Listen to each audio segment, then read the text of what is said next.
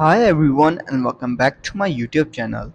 So guys, today in this video I'm gonna tell you how to fix Hey Siri not working on iOS 17 on iPhone. There's a variety of potential reasons for Hey Siri not working after iOS 17 update, some of which are no fault of your own.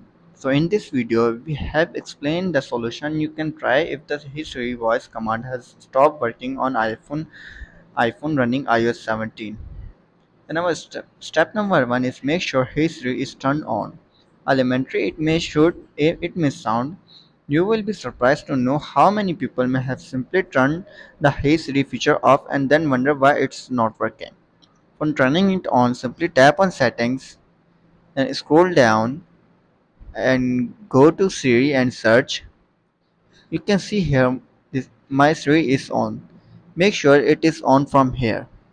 Then our step number two is insecure that allow Siri when locked is available. If you're trying to activate Siri when your iOS 17 device is locked and Siri is not working for you, then make sure to allow Siri when locked option is enabled. If it is turned off, then simply turn on. You can turn on it from simply going to Siri and search. Then you can see our option allow Siri when locked. Simply turn it on. If it's turned off, then turn it on.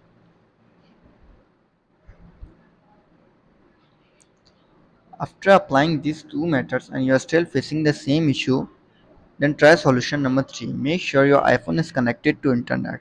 This may be stating the obvious, but for for most users, users Siri does not Siri does not need Wi-Fi or mobile data to operate. So make sure your iOS 17 device is connected before you try to search anything.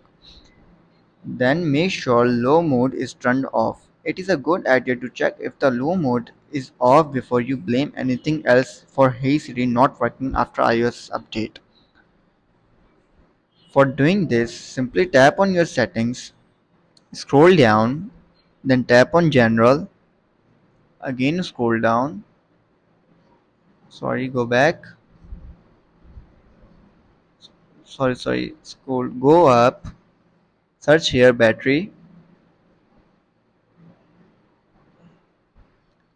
can see here option low power mode. If it's turned on, then simply turn it off and try if the Siri is working or not. If it is still not working, then check your data and time settings.